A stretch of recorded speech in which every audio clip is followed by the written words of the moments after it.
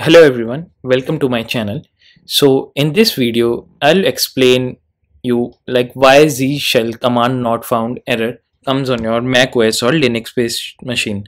So I have found this error and I have seen on my videos also some people face this issue like Z shell command not found error on Mac OS like while installing MySQL or doing any other thing. So I'm making a separate video on Z shell command not found error. So in this video you'll find like what's the reason and how you can you know resolve this issue. So please follow step by step and through this we can resolve this issue. So first of all uh, basically in 2019 mac os released catalina its os and you know after from then you know mac basically switched from bash profile to z shell. So how you can first of all your first step should be you need to find out what exactly is your shell? So you can check that. I'm just going to open terminal first. Okay. So i have opened my terminal. So your first step should be you can see on this bar you can see my name and z shell. So my default shell is z shell. You can confirm the same by opening your terminal. And from here only you can confirm which shell environment are you guys using. Okay. So this is the first way you can confirm it okay? And second is I'm going to write one command echo dollar shell okay? So using this command you can see my default shell is z shell or I'm using z shell environment okay? So I'm using Z shell environment but if you wanted to switch to bash profile or bash you can also do so but you need to do some configuration. So using these steps first you need to find out which environment or which profile are you guys using okay? So i'm using z shell. Okay so another way you can check what all other shells are there on your system is you can use this command cat space etc slash shells. So it will showcases you the list of acceptable shells which are present on your os so there is bash, chs dash, ksh, sh, tc, sh and z shell. But the default one is z shell or what I am using by writing this command echo dollar shell. You can verify which default shell has been present on your machine. Okay.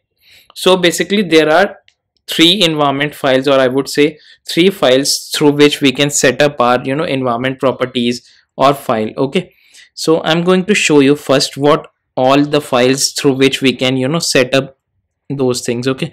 So you need to write one command ls space hyphen a. So i have z shell environment file. What i have used what i am using in my current machine. So in this z shell env file i'm using to you know configure my paths and exporting all my paths be it jdk or mysql or any other path. So there are other files also. You must have heard about zprofile.zprofile and dot .zshrc basically these are the two main startup files that you will be you know most of the time you will be dealing with these. Yet other files you can also use like what i have using z shell environment file okay? So basically z profile file what i'm talking about is you can also create using touch.z profile okay? Using this you can create or you can directly go to vi space dot z profile and enter. So a file will be created and now you can space you can save it using escape colon w key and you need to write some words into it. So you can edit it using shift i. So you can insert support i want to insert any path. So I can do so. But I wanted to quit this. Then escape colon q. Exclamation also. Okay. So I haven't saved it you know using wq colon. So it will not be created okay? I have just wanted to show you how you can create z profile also. So basically z login and z profile do the same thing. Basically they set the environment for login shells. The only difference between the two is like they just get loaded at different times okay? I would basically suggest you to use z profile all the times for consistency okay? And there is one more file dot z shrc okay so this one is also you must have seen on most of the internet you know forums and any other website. Z shell rc you know sets the environment for interactive shells basically. So it gets loaded after this z profile. Okay so it is a place like where you set and forget things in this. Okay so i would suggest you to you know use this z profile if you wanted to choose between the two. Okay and z shell rc you know it loaded after z file in interactive shell. So it will override anything you set in z profile like the path variable.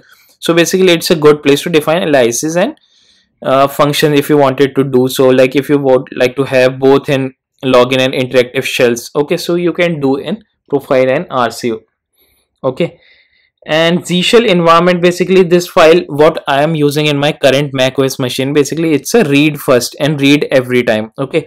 Regardless of the shell being you know login interactive or none okay? So you can also use this z shell environment. Basically it's recommended place to you know set up environment variables z shell environment. You know so i still prefer you guys to set up variables in z profile but i am using the, this environment file okay so uh, let's start. So i'm just going to uh, show you guys how you can install mysql on your mac os machine. And if you guys have uh, getting if your guys are getting that error z shell command not found you can also resolve that easily by watching this video step by step. Okay so let's get started. Now i'll be opening my web browser. You can open any. Uh, now i will going to google.com and search for mysql. Uh, we can go to directly downloads and we need to select community edition. Okay community downloads. And i'll be selecting community server. So i'll be providing you the url how you can download the mysql. So you can you know pick up that from the video description and directly go to the downloads. And so uh, if I have to select the OS so you can see there are different OS you have to select for Linux or Windows or Mac OS so I'm going to download for Mac OS in which I'm showing you guys.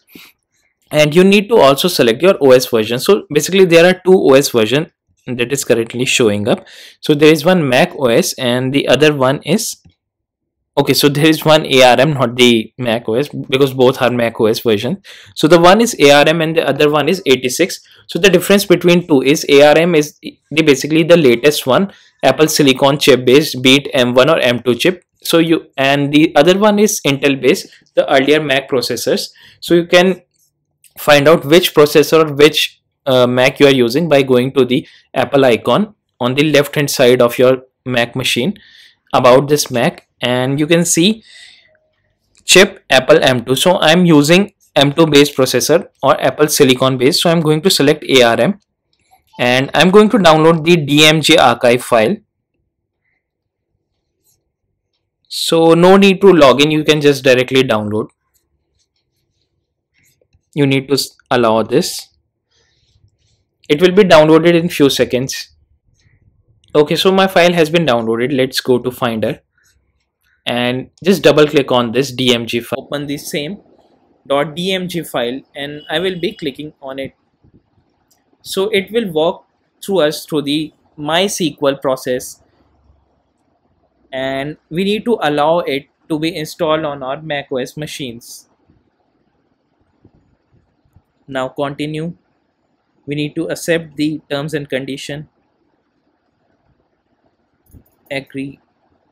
If you want you can also choose the destination means install location but I would prefer to install it on the default location. Install. So it will ask you to enter your password for your Mac OS machine.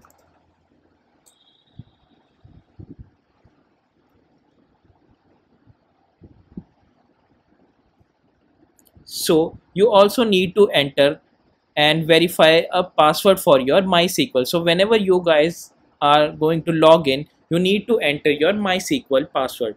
So I'm going to use a password here. Next. And you need to enter your password so it says like you need to enter a password like root. So I'm also going to use the same password root okay? And then but it says a reasonable password consists of at least 8 characters. So i'm going to use root 1 2 3 4 and now finish. And I need to again enter the my Mac OS password. Press OK now my Mac on my Mac OS the MySQL has been installed. You need to now close up the window. And you can move to bin the .dmg file that you have been downloaded. Okay so I have installed my MySQL. You can verify the same by going to your system settings. And you can go to below and you can see my MySQL has been installed. So you need to start this MySQL by clicking on this start MySQL server and just entering your password, not the MySQL password which you have set earlier at the installation process time. You need to set up, uh, enter your macOS machine password, not the iCloud one also. Okay, so after entering your machine password, the MySQL server will get started and let me just open terminal again okay so terminal I have already opened. So what I'm going to do is I'm first going to exit this. You need to just keep this process very uh, step by step. What I'm showing you need to just exit this. Okay so before going to you know configure the MySQL first exit this by writing exit closing the terminal. Just quit from the bar. And I'm again going to open the terminal okay. So what error that you have are getting like z shell command not found? The error the one of the reason for the error is this one. Like z shell command not found because you have your terminal open and you are setting up all those things at one time. So you need to close the terminal and you need to open it again. So i'm going to one directory. Usr local okay i'm going to open this. And basically this is the default location where you know mysql has been installed. So i'm just going to that directory. And i need to go to this mysql and bin. So inside bin what i'm doing right click get info. And you just need to copy this path. Close this. You can also close this. And I'm just going to open okay. So this is the default path what I'm going to copy paste in my export path.